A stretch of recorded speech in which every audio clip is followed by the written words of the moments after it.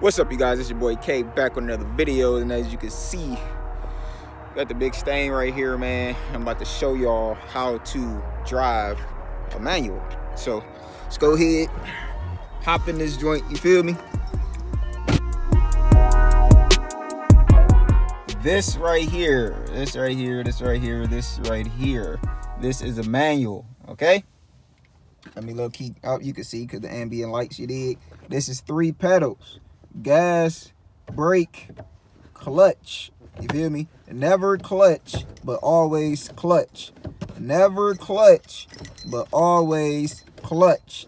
You feel me? Oh, that's very important. You know what I'm saying? I don't want y'all to get it confused and think you got to use your right foot to be doing all three. No. You know what I'm saying? The right, just kind of, just think about an automatic, okay? And an automatic, you get in that joint, you put it in park, reverse, drive, whatever. So whatever gear, just say, let's say we smack it in and drive. You go use your right foot to press the gas. You go use your right foot to press the brake. Same thing in a manual. Same thing. Use your right foot for the gas, right foot for the brake, and then your left. The one that usually just be chilling all the time while you driving. This is chilling, kicking up, ain't doing nothing. You use that one for the clutch. Remember that. Okay, so now that's out the way and I feel like I beat that in your head. Now, let me show you how to start it and put it in gear. So on most cars, it's pretty much the same thing. You just turn the key. Of course, the car is going to cut on. We're going to go ahead and try to start. Nothing's happening, right? Nothing, right? Because you got to press the clutch. Press the clutch. Then turn the key. And look at that. The car is on. We need an oil change. Look at that. So, make sure it's a neutral. Like this. Bam, bam, bam. It's a neutral.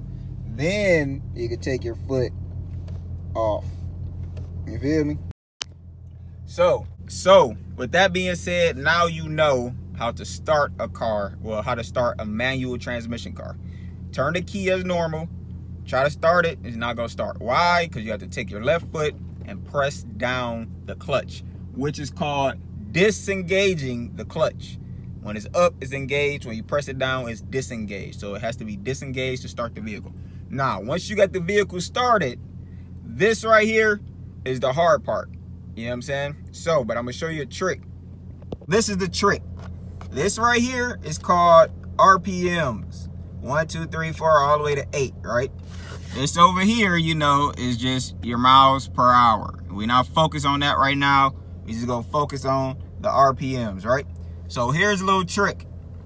You wanna have the RPMs at 1500. So that's right there. Well, I'm going a little bit too high, but you know what I'm saying? You gotta fill it out and get it as close to 1500 as you can get.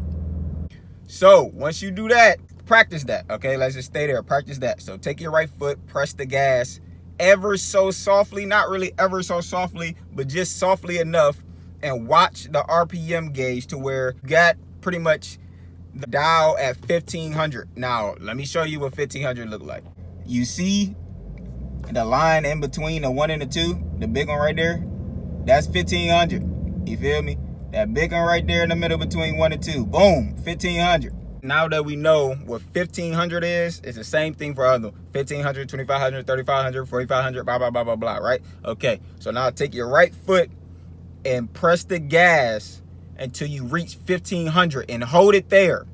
See it, just practice, see if you can hold it there. Once you master that, that's gonna help you take off and get out of first gear you know what I'm saying? It's going to be easier for you to get out of first gear. You know what I'm saying? Now, it's a backside of that. Now, I'm going to show you next. But right now, we just need to focus on holding the car at 1,500 RPMs. All right, so now I'm about to show you how to put the car in gear. All right, so let's do it. So first thing you want to do, take your left foot, press the clutch all the way down. I mean, all the way down till you can't go no more. All the way down, all the way down. Once you get all the way down, you come over to the gearbox itself and you read it.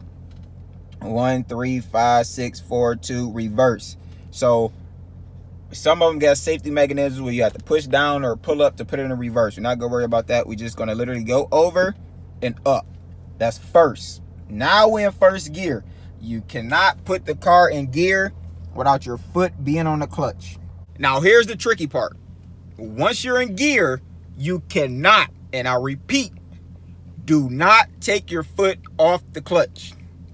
Do not take your foot off the clutch. Why? Because you're going to cut the car off. It's called stalling out. You're going to cut the car off. It's going to stall out. It's going to fall on his face. Now you got to start over. So make sure your leg is strong. Make sure you, you know what I'm saying, was eating your broccoli the night before. You know what I'm saying? Make sure if you need to, you know what I'm saying, have your little juice ready, green juice, whatever.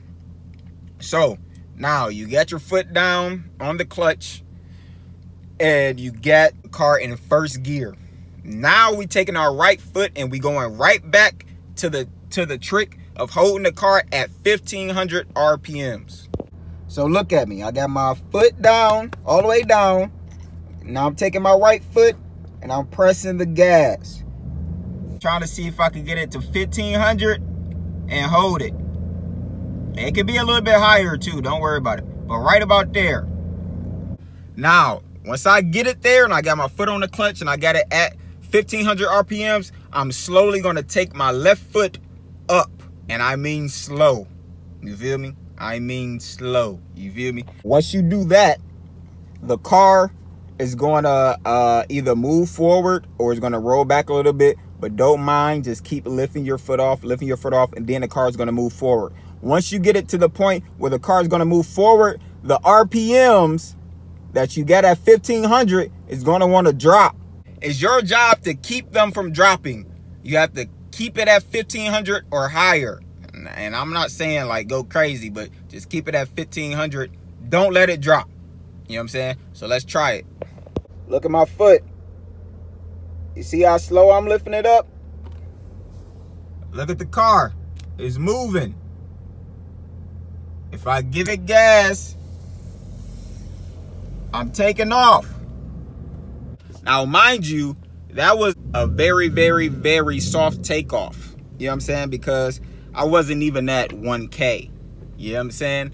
But that's because I kind of really just went against what I just told you because I've been driving manual for so long. It's kind of just kind of easy to me now at this point.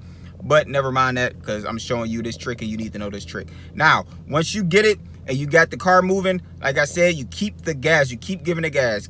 But you do it slowly. You don't just, you know what I'm saying, go crazy, stab on the gas pedal. You do it slowly. Now, the car is going to be moving.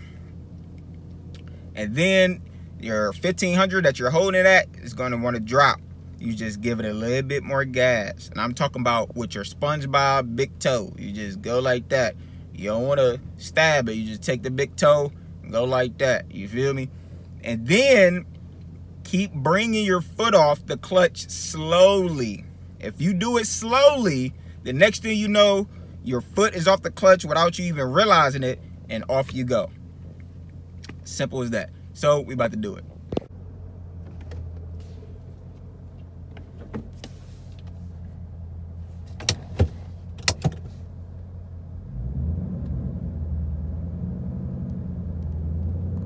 Hold it, hold it, hold it. There we go. And we off.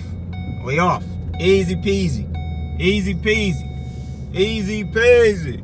Now, once you take off, you gone. You in first gear, you moving, you grooving. Now, oh my God, what do I do? Don't mind me rolling back because I'm just rolling back. But oh my God, what do I do? I need to switch gears, right? Okay, so now we're in the next phase of life. You know what I'm saying? You gotta switch gears. Super easy. What did I tell you to do before? Press the clutch instead of going forward in one all the answers is right there on the gear shift. You bring it back into two. But you always have to press the clutch down to switch gears and then lift up on the clutch. Now this time you probably do need to give it a well not probably but you most definitely should give it a little bit of gas or make sure you just try to keep the rpms where it was when you started to shift. So if i'm at 2k rpms and I'm about to shift. Matter of fact, three. If I'm at 3K RPM and I'm about to shift into the next gear, so second or third, you know what I'm saying? I'm going to disengage the clutch, press down on the clutch, shift as fast as I can to the next gear, give it gas while I'm letting off of the clutch. So, you know what I'm saying? It doesn't like kind of shock the transmission and stuff like that, tear up the clutch, you know what I'm saying? So, newer cars, you don't have to worry about that because it's going to rev match itself pretty much. So, yeah, that's pretty much how you do it. Now, let me show you how to easily move through gears in the transmission, okay? So, here we go. We always start with the left foot press it down, come over to the gearbox. I'm gonna pull it in fourth gear so you can see what I'm talking about. Here it is, reverse.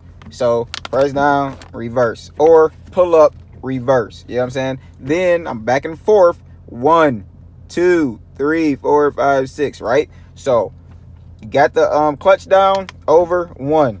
Come back, two, up, three, four, over, five, back, six. Super easy. Let's do it again. Over, up is one. Come straight back, two. Up, straight, three. Straight back, four. Over, up, five. And straight back, six.